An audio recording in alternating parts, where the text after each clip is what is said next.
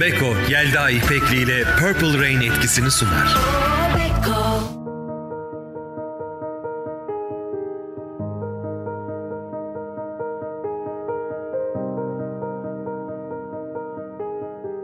Bu podcast'imi bir pazarlama danışmanının sırlarına ayırdım. Size 6 tane önemli sır vereceğim. Hazır mısınız? Birincisi demirleme etkisi. Demirleme etkisi nedir? Bir araba satıcısı size 300 bin dolarlık bir Ferrari ve ardından 100 bin dolarlık bir Porsche gösteriyor. Size Porsche'un ucuz olduğunu göstermiş oluyor. Biz buna demirleme etkisi deriz. Yani önce çok pahalı bir şeyi gösterir, sonra daha ucuz olanla sizi ikna ederiz. İkincisi sosyal kanıt. Aslında hepiniz bunu gayet iyi biliyorsunuz. İnternet internetten alışveriş yapmadan önce, bir otel rezervasyonu yaptırmadan önce mutlaka social proof dediğimiz sosyal kanıtı ararız. Yani daha önce o mekanla ilgili, o ürünle ilgili kullanıcıların yaptıkları değerlendirmelere önem veriyoruz. Sosyal kanıt önemlidir.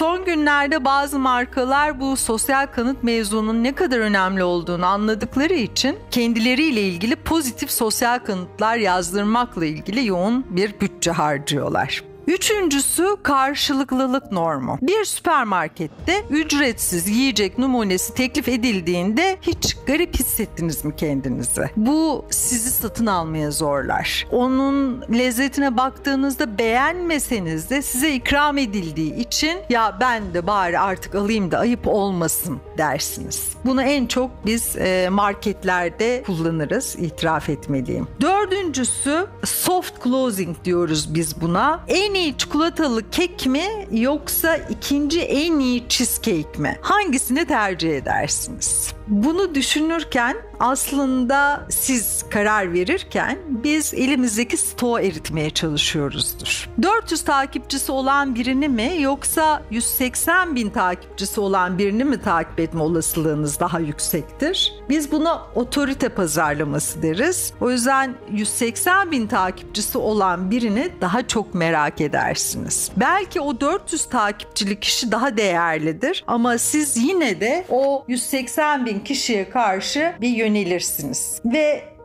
son pazarlama triğimiz altıncısı kaybetme korkusu. Eğer beni takip etmiyorsanız muhtemelen beni bir daha göremezsiniz. Ancak bunu yaparsanız bilginiz ve kişisel gelişiminizi genişletme yolundasınızdır demektir. İfadesiyle beni kaybetmeyin. Kaybeden siz olursunuz. Hissiyatını yaratarak takipçi kazanmak ya da ürünü satmak mümkündür. Bu elimde son kaldı. Artık bitiyor. Bir daha bulmanız mümkün değil dediğiniz anda o ürün müşteriye daha cazip hale gelir. Evet, size 6 pazarlama sırrımızı paylaştım.